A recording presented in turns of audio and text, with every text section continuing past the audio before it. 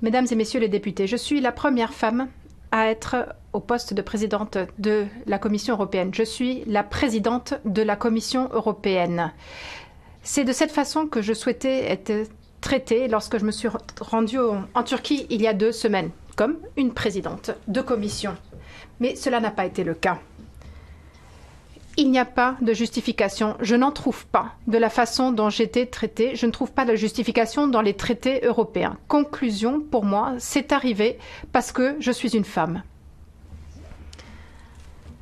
Est-ce que si j'avais porté euh, une cravate et un costume, est-ce que ce serait, ce se serait passé de la même façon? Je n'ai jamais vu euh, de pénurie de fauteuils par le passé, mais je n'ai jamais vu euh, de femmes par le passé sur ces photos, dans ces films. Euh, alors, Mesdames et messieurs les députés, mesdames les députés, surtout vous, vous avez certainement fait ce type d'expérience par le passé. Je pense que vous savez très bien comment je me suis sentie blessée, seule, en tant que femme et en tant qu'européenne. Parce que bien sûr qu'il ne s'agit pas d'une composition de fauteuil ou de protocole. Là, nous touchons vraiment ce que nous sommes.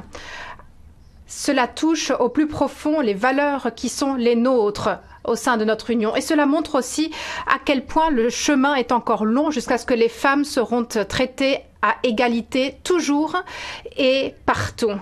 Alors, bien entendu, je sais que je suis dans une position fortement privilégiée. Je suis la présidente d'une institution qui est, est, très respectée partout dans le monde. Et ce qui est important aussi, c'est qu'en tant que leader, moi, je peux prendre la parole, moi, je peux me faire entendre. Et qu'en est-il maintenant des millions de femmes qui n'ont pas cette possibilité? Des femmes qui euh, sont blessées euh, tous les jours, partout, aux quatre coins de la planète, mais qui n'ont pas ni le pouvoir ni la possibilité de s'exprimer. Mais nous savons bien que des milliers d'incidents similaires qui sont bien pires ne sont pas vus tous les jours. Alors oui, il nous faut veiller à ce que ces histoires-là, on les raconte également. Et que lorsque on les raconte, on agisse suite à ces récits. C'est la raison pour laquelle je veux que l'Union européenne se joigne à la Convention d'Istanbul. Ce sera l'une des grandes priorités qui seront les miennes.